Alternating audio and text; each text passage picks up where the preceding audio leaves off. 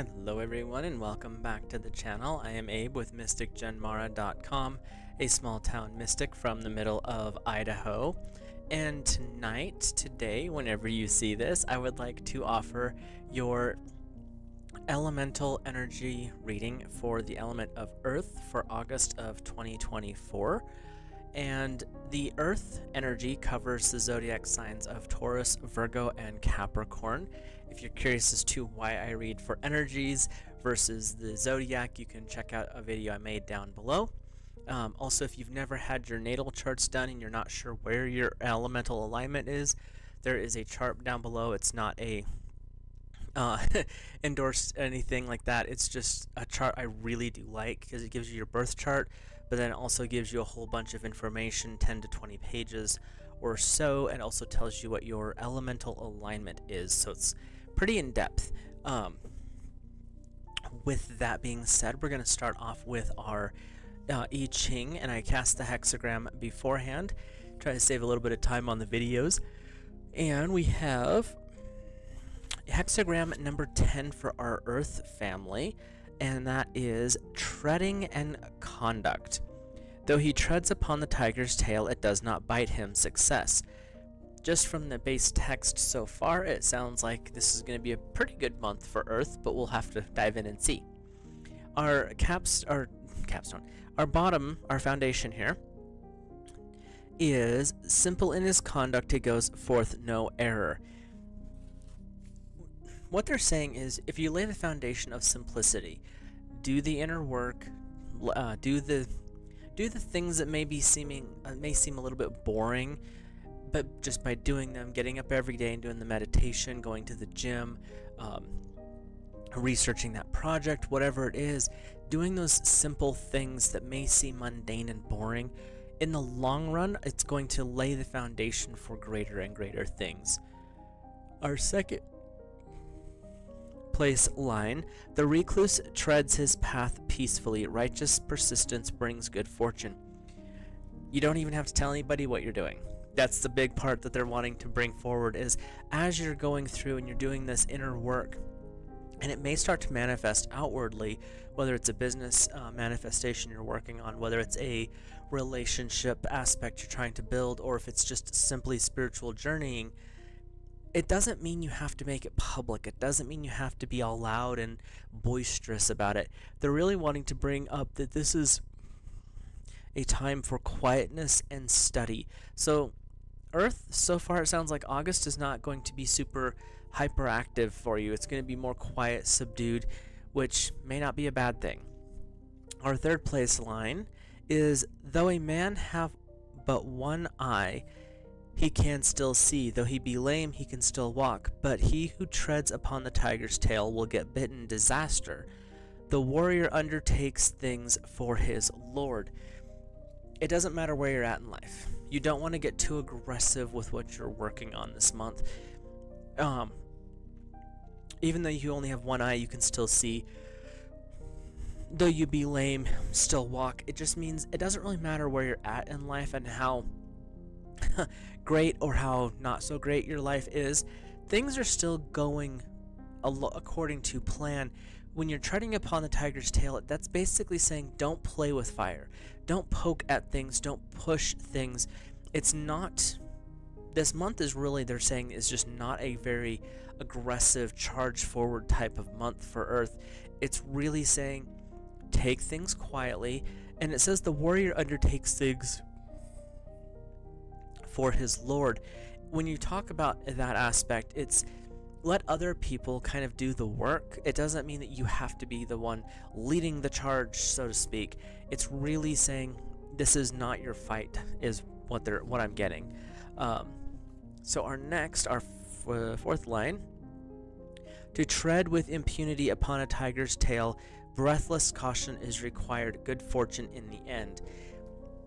If as you go through the month, there is a point where you might accidentally step on the tiger's tail, so to speak, and that maybe you inadvertently fall into a disagreement. You may inadvertently fall into a situation that is a little bit more aggressive or hostile than what you were anticipating. Take caution, don't react uh, in aggression. Breathless caution is required. Don't respond to the situation is what I'm what they're saying. So good fortune in the end, that's pretty simple. If something boils over, step back, let it do its thing. Don't get aggressive. They're really wanting just to say this month is not going to be hyperactive for Earth. He treads our fifth place line. He treads delicately. Persistence could lead to trouble. Again, that doesn't mean you have to push everything forward. They're they're saying there he is, my guides are saying that this is a vacation month for Earth. Things are still going along. Things are still happening but you don't have to be the driving force behind it. Kind of going with the flow, tap into your uh, more water side of things, just to be a bit more mellow through life. So, our capstone here if they watch their step or look to their conduct and heed omens, sublime good fortune will be theirs. This is this could be your omen. Um, basically, just take the time don't stress about things this month. Really find ways to be at peace with the world as a whole. Uh, the world right now, in August of 2024, is a little on the uh, struggling side for peace. it's a little bit chaotic out there. But for Earth, the universe is saying this is a time for you to just take a breath, step back from everything, and allow yourself to just be be at peace, be quiet, do the inner work, do the gentle stuff. It's not about being aggressive and pushing forward for you in this particular month, anyway. Um, we can see what the tarot has to say and see how it either supports or maybe gives some side information. And I read intuitively, just with as with the I Ching. So the messages that come through may or may not be exactly what the card's uh, book definitions are. And there's approximately four and a half weeks in August, so we'll read through a five week window. And I read for the. Um, I'm have too many things going on right now. Sorry. I read for a guide or guardian for each week, a message from source, and then a lesson or challenge from the tarot. The guide or guardian is coming in to support you, to guide you through the week, or to guard you from any unexpected uh, surprises that may pop up. The message from source is a supporting message, something to give you encouragement or um, possibly a little bit of insight into something that's going on. And the lesson or challenge from the tarot is a lesson you can choose to work on, or a challenge that might be giving you a heads up that there's something going on in that time period. And just so everyone's aware, these are going in order according to how I see them, but they may be rearranged for how your life tends to flow. So, with that, we'll hop in here. Your first guide or guardian is the Angels of Composure. So, with composure, this is knowing what to say, when to say it, and when to be silent. And these angels are great for being in public speaking. Or if you happen to be in a form of job where there's a possibility of hostility, whether it's verbal hostility, if you work in retail, you know what I'm talking about, or if it's physical hostility, you know, law enforcement, things like that. But knowing how to keep your composure, staying in balance when everything is going chaotic is the what the angels are going to try to bring in this first week. And it's helping you find that inner peace, that inner balance. Just like with I Ching, it doesn't always have to be about being aggression. Sometimes being the most composed is to be the one who's silent. And that is a difficult thing in some situations from experience. So, your message from source is tears. There's times when it's just better to step away and allow yourself to have the tears. You can be the most composed person in the world and be melting down inside. What Source wants to say is this first week, be gentle with yourself. Take the time you need. You can be composed at work. You can do all the things. Be as, you know, upfront, professional, friendly, fun, fill in the blank. But if you need to take the moment, set aside the time to allow your feelings to exist, allow your feelings to be acknowledged. Don't wallow. That's not what we're saying here. What they're saying is allow them to be recognized. Recognizing your emotions and how you feel about a situation or a thing is actually validating you. It's not saying, oh, this is my entire identity. No, that's not you. That is an emotion that you're feeling in this moment. It's important to experience that emotion, understand the source and core of it, and you may not in the moment. It might come down a couple days later, all of a sudden you're like, oh, that's what that was all about. But allow yourself to feel the emotions when they show up. Doesn't mean you have to wallow in them. It doesn't mean they have to be outward displays of, you know, wailing and gnashing of teeth or anything. But allow yourself to feel this first week, especially. Your lesson or challenge from the tarot is the Two of Winter. Indecision is holding you back. Make the choices that are best for you rather than trying to please others. Feeling trapped between the intellectual and emotional. The intellect is saying emotions are garbage, don't use them. Emotions are saying feel everything to the fullest extent. You stand in the center. This first week is really calling you to get your balance together. That's where the angels of composure can help you understand. There's times when you need to say, nope, just a second, put the emotions on the back burner. I'm in this situation, I need to deal with it. And then when you step away from said situation, that's when you can feel. But that's where this first week is going to be a uh, war of opposites because you're going to have the more emotional side of life, but you also have the intellectual side, and they're kind of at conflict with each other, is what I'm hearing this first week. So find the peace, find the balance, step away when you need to, and allow yourself to feel and heal. Let's see what is your second week's guide or guardian. And it is the Angels of Surrender. This month is really about earth allowing and flowing. The angels of surrender are not saying give up. What they're saying is you don't need to control it this month, especially the second week. You've learned you've earned the composure from the first week. You're starting to understand that balance because there's been some intensity that's been going on and it might have shaken you a little bit. This first week is saying reground, your earth, you can do this. The second week is to surrender. What is not serving you? The angels are saying, surrender that to Source, let go. It is not yours to hold any longer. So if there's an emotional state like frustration at fill in the blank, if there is anger at something that's going on, that's not really yours to be carrying this month. So just let that go. The second week is about surrendering the heavier, the denser, the the things that do not light you up, it's time to let them go. There's lessons to be learned from everything, and I'm not saying to give up on the lesson, but the emotional control that it has over you is no longer needed, and that's the thing you can surrender at this time. So, your message from Source is merriment. Because when you surrender, when you let go of those heavier energies, you find that innocent joy. I mean, the boys are just having a ball here. And there's a little fairy here that's, you know, playing along with them. And if you've ever had one of these metal tops, I can hear that thing right now because I used to have one. but it's about having fun. When you surrender the weight, when you surrender the stress, the frustration, it allows you to find that joy and peace.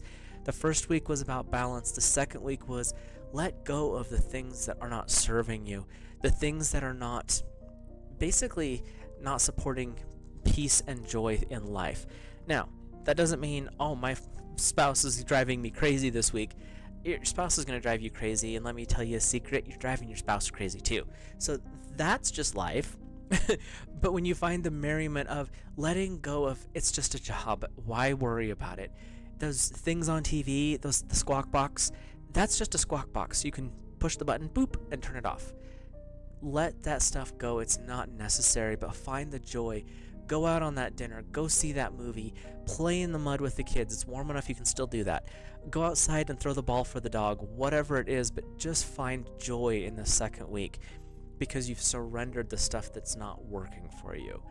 The lesson or challenge is the Queen of Spring brilliant, loyal, talented, and friendly. Believe in yourself. Wonderful people want to help maintain a balance between work and home. Balance, balance, balance. But the Queen of Spring means that there's a feminine energy that's coming forward, and it could be from within you, it could be someone from the outside coming in. They're going to support your my guys were like, they're going to support the giggles. So find ways to really tap into that. They're saying that this is more of a lesson and a reminder for you, not so much a challenge, because being happy and being joyful, there's times where it'll feel like a challenge, but reality, it's a lesson and a reminder. Step back into the innocence of a child. And when the Queen of Spring is coming in, she's coming in with giggles and happiness, laughter, play with puppies, uh, go, you know, do the things that make you just smile for no reason. It's completely involuntary smiles, but that's what she wants to bring in this mo- this second week. So that's actually a pretty supportive uh, concept there. Your third week is courage and bravery. The angels of courage and bra- bravery are saying it takes a lot to be able to be composed in chaos. It takes a lot to surrender the thing that you feel has been yours for so long, but it's really not any longer because you've moved beyond it. Now it's just baggage you're carrying around. The courage and bravery angels are saying it takes courage to step out and smile. It takes courage and bravery to say, This is not my problem.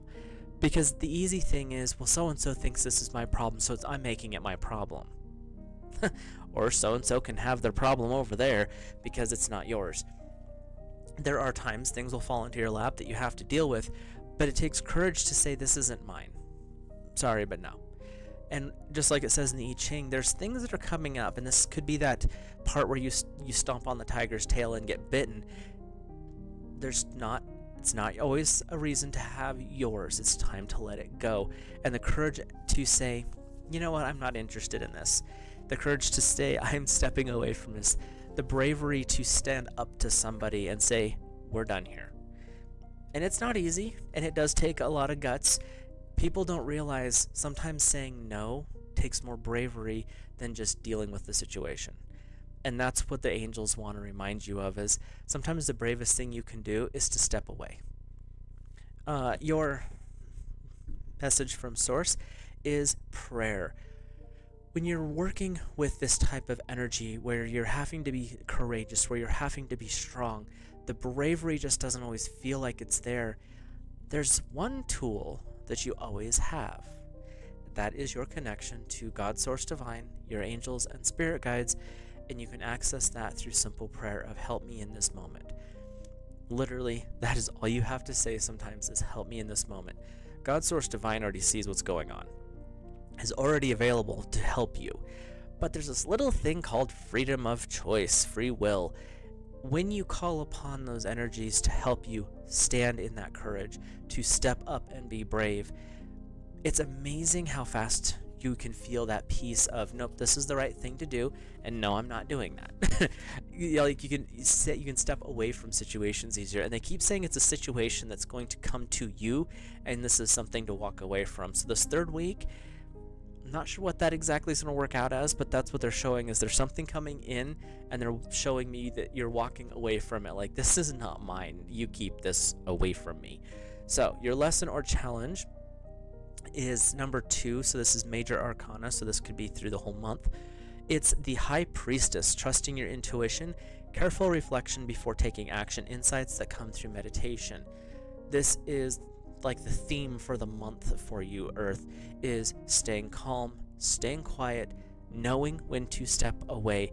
The High Priestess, she talks to the divi- divine constantly. The High Priestess energy, or High Priest if you're a dude out there, is to connect into God's source divine and be like, okay, what do I need to do in this moment?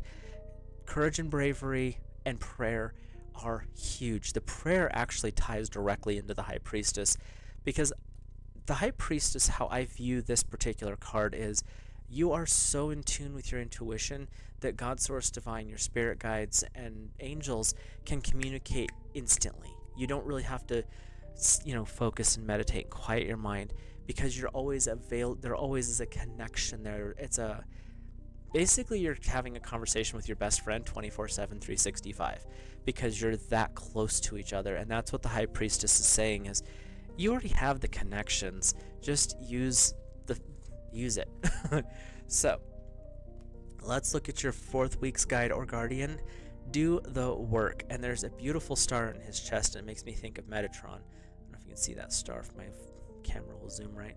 But this, when it says do the work, this fourth week is saying you've went through this process of learning to let go, learning to release. What's interesting is the work that you've been asked to do this month with the I Ching as well as with the cards is all internal. There's really not much other than the bravery in the third week saying it's an outward thing. Everything else has been work that you're doing inside, and the do the work angels are coming in to support you. You've been doing this stuff, you've been kind of. They're, they're saying you've been struggling alone, whether you're in a relationship by yourself, in a business, business partnership. There's been this element within you that feels that you've been doing it all by yourself. And what they're saying is, you don't have to. You have angels who are willing to step in and support you they're also saying that there's another person, someone that you you don't want to burden with your problems, who has been waiting like, dude, I'm right here. Why are you not letting me help you? They're saying part of the work this month is being open to that help. When you work with the surrender, when you tap into that kind of energy, it allows you to bring in other people who are in alignment with what your goals and dreams and ambitions are, and they uh, can support you through the work you're doing. So, your message from Source is evolve. When you're doing the inner work, it's amazing how the outside world changes. I love the word magic because magic is change in a conforming with will. When you tap into that type of will, when you're doing the inner work, and you have the support of the spirit world as well as the physical world, they call it evolution, but it's really you're you're magically shifting the universe in your section. How that works out is going to be look different for every single person out there. So don't think, well, this is the only way, because it's not. Everyone's going to have their own outcome from this. With that being said, as you go through this month and you're doing this inner work, and you're really starting to come to terms with the fact that you don't have to be the one in control of everything which it's not always easy. But the other part is you have the ability to let things go. You don't have to worry about what other people think. When you evolve, when you grow, when you start to understand that magical uh, choice and change that's coming in, it allows you to shift perspective. Shifting perspective can literally change everything in your circle.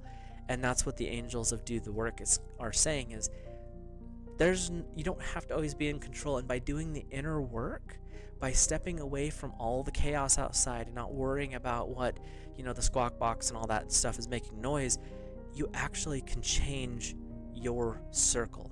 And in reality when you start to shift within yourself the outside world's going to match that. So that's kind of a cool thing. Um, your lesson or challenge another major arcana is the lovers the uh, true love that is long lasting, choices made from the heart, a return to good health. When you tap into that inner choice, those inner changes, you find the balance, you find that connection. Um, not find, remember the connection to God's source divine that you carry within you at all times.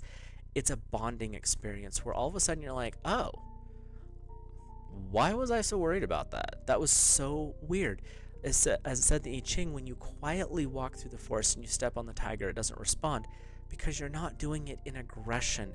This month, even with the cards, is saying this is about doing inner work. It's not about being uh, bold or brash or any of that energy going projective energy.